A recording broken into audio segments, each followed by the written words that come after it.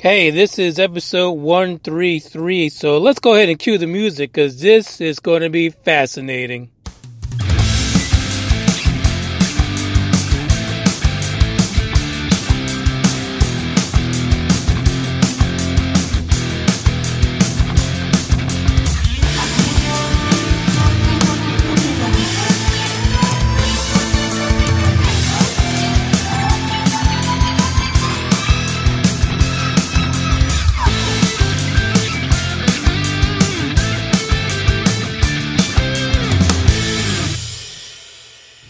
Hey, this is your boy Manny Moonraker, and this is episode 133 of the UFO Report from UFO Buster Radio, the one and only.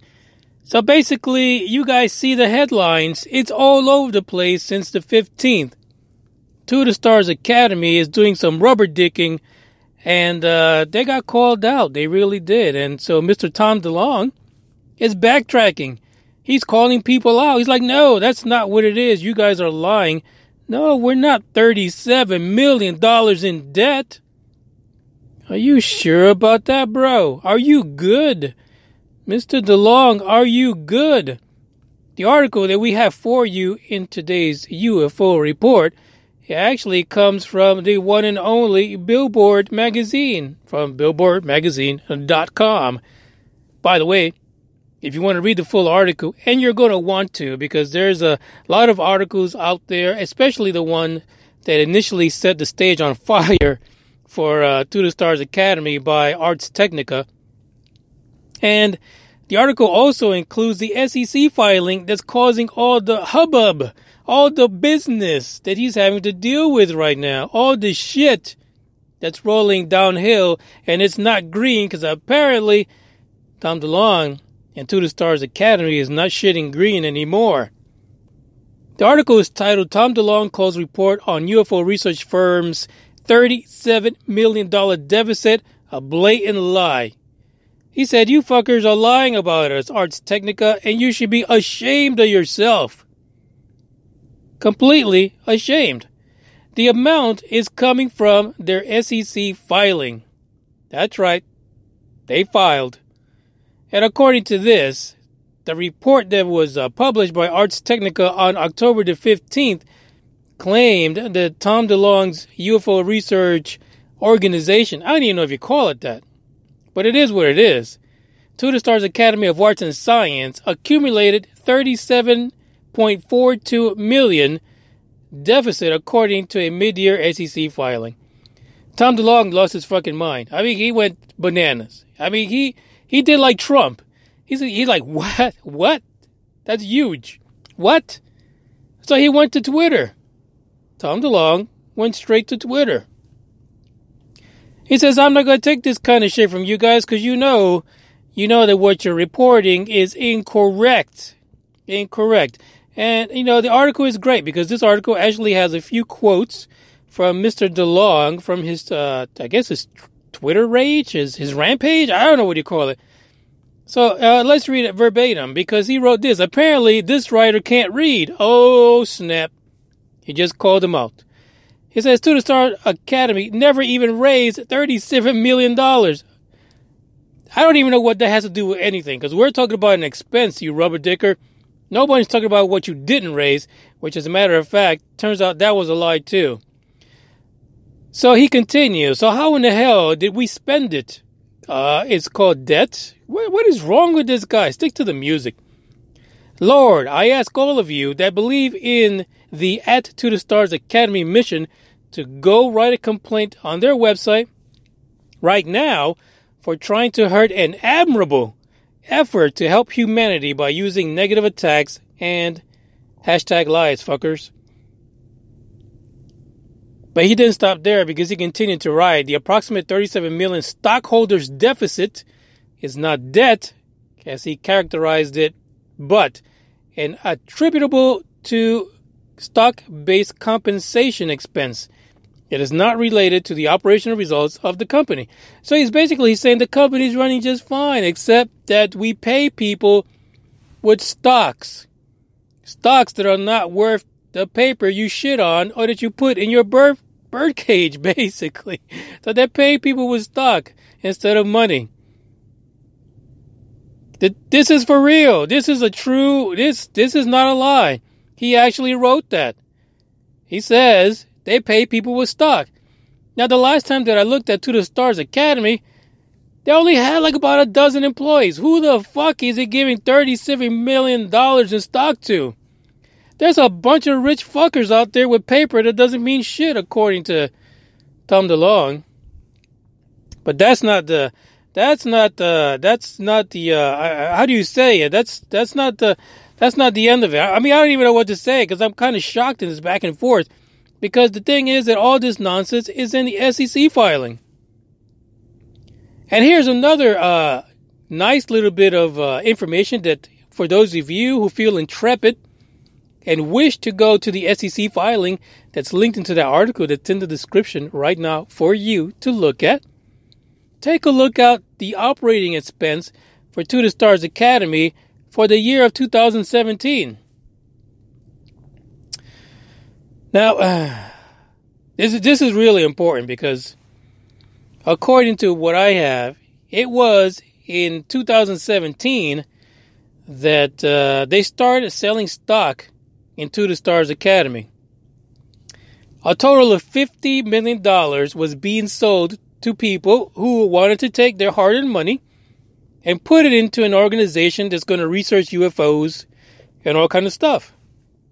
Led by Tom DeLonge and Elizondo's in there and the rest of the, the crew, the zoo crew, if you will. According to the website, a total of 2,547 investors got down. They threw down their money. Cha-ching, sign me up.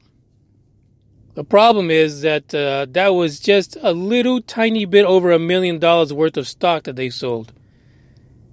But if you look at their SEC filing, which shows 2017 as well, the, two, the, the filing shows that they were operating at a deficit of over $25 million what the fuck did they do for 20? Are you serious right now? This is rubber dicking at its highest. You're telling me in that SEC filing that pay people with stock that really has no backing at a tone of over $30 million is a mischaracterization of what To the Stars of Academy is really at right now. Like, no, the company's doing great. Oh, they're hurting us. They're hurting us. No, don't cry wolf. Don't do that. Don't do that, Mr. DeLonge.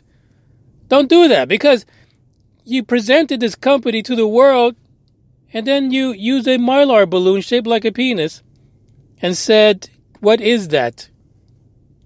You had your people stand up there in amazement over a mylar balloon that was misidentified as a UFO, and then have the nerve to ask,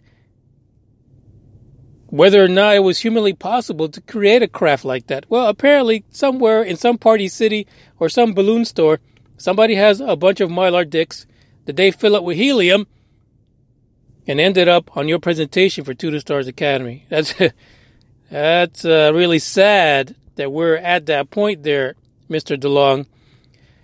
So anyway, so he, he had this meltdown. And he's telling people, no, that's not true the $37 million that's something you do. It's not operating costs. It's uh it's uh, it's uh, it's fuzzy math is what it is. But here's the thing. There is a note within that SEC filing uh, which I'm sure was not put on there by anyone else other than the To the Stars dream team and it says this going concern, and I'm going to quote you. This is directly from the SEC filing that uh, was sent in by Two Stars Academy. The accompanying financial statements have been prepared on a going concern basis. Oops. What the heck does that mean? Which contemplates the realization of assets and the satisfaction of liabilities in the normal course of business. The company has incurred losses from operations and has an accumulated deficit at as of uh, June 30, 2018 of $37,432,000. These factors raise doubt about the company's ability to continue as a going concern. fuck my life. You basically said it within your SEC filing that the company is screwed. But you take to Twitter and you try to take Ars Technica's writer and their basically their organization and you try to get people to attack them because they are uh, mischaracterizing such a noble company like To the Stars Academy. What are you smoking, Tom DeLonge? What are you passing around with the rest of your cronies? How can you give out that much money in stock and someone not question what the hell is really going on? And you know, didn't two, they just started in 2017. How could they have that much of a de- deficit in operations in 2017? It sounds like they're pushing money that's owed somewhere else into To the Stars Academy, hoping that little suckers like us, little blue collar people, would pay for that shit. The math here is crazy. Now, you know, I am uh, Manny Moonraker, of course, and I I like to talk about this shit. But, you know, he made a point. He says, hey, listen, uh, you know, paying people off in stock, you know, instead of money, it's not considered an, an operational deficit. So the company is great. If you look at Investopedia and any other place that uh, talks about things like this, as far as SEC filings and operational expenses, it isn't allowable. So basically, there's some rule somewhere that says little startup fucker companies like this can actually do that. However, many of them say that if you have a discerning eye for really fucked up weird numbers, that you as an investor should look at that significant deficit in stock payoffs, not just as any kind of an expense, but also look at it as an operational expense. Because the fact is, that money is owed. It's owed to somebody.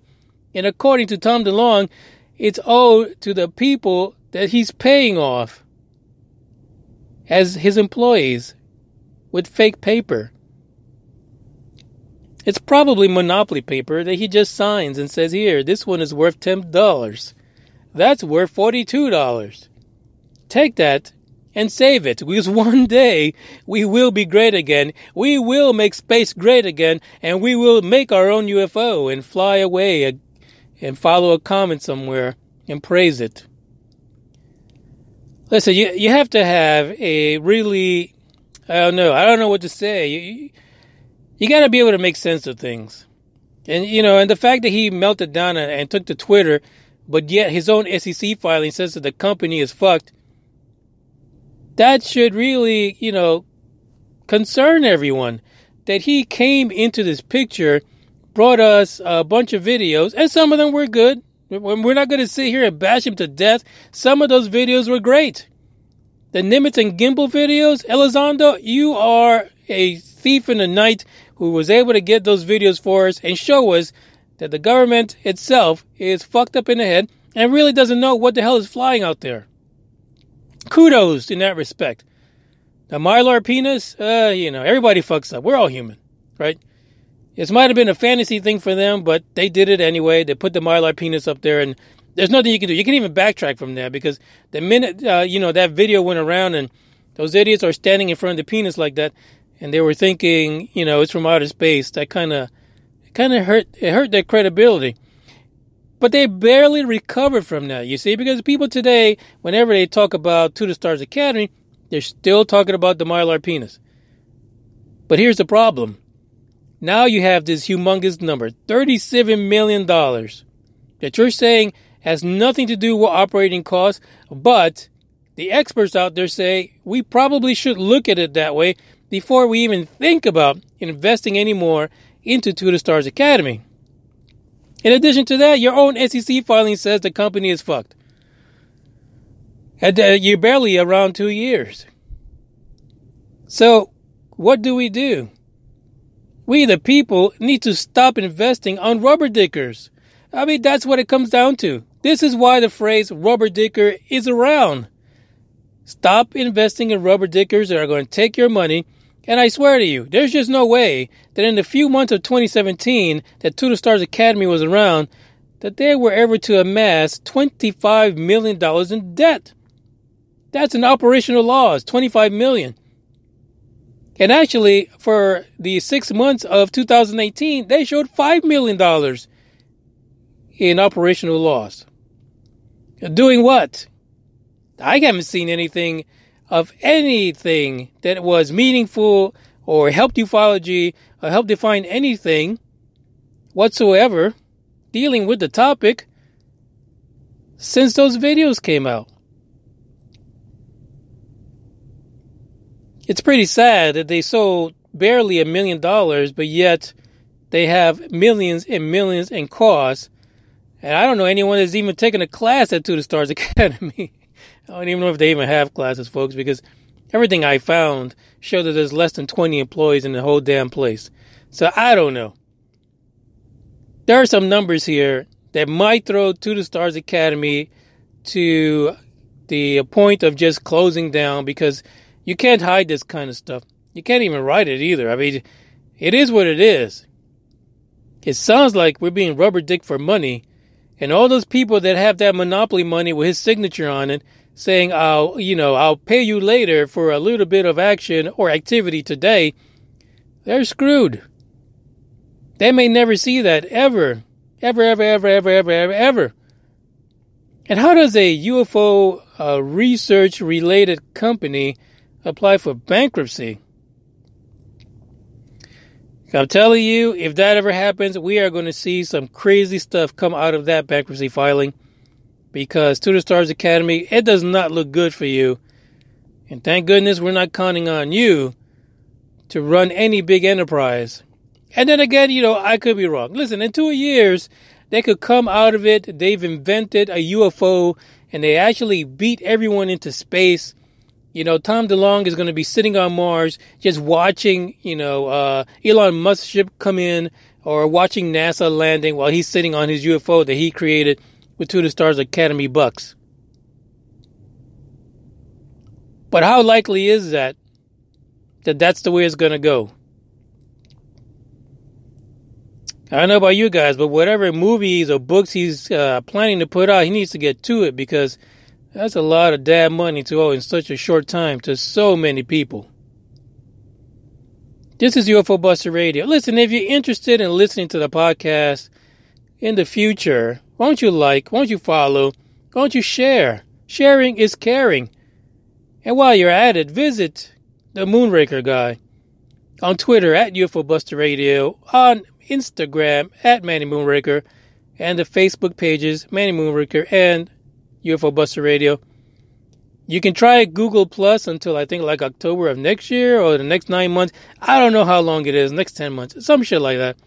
Plus Manny Moonraker but that will eventually die as well because those fuckers rubber dicked everyone and took our trust of their ability to protect our information and pretty much shit all over it. So this is it for today, the Wednesday edition of the podcast. Yeah, you know, go into the link, check out the article. Don't don't just take my word for it. Just read through it. And I'm telling you, go to the section that says note 2 and you'll see on there, uh, they said that pretty much they think To the Stars Academy is going to go belly up. That they have no trust in the fact that they're going to recover that money. And all the people that got played with that Monopoly bucks, uh, they're pretty much screwed. So, anyway, I'm signing out. Ciao. Talk to you later. Bye bye. See you in two days. I guess it's more like hear you in two days. Sayonara.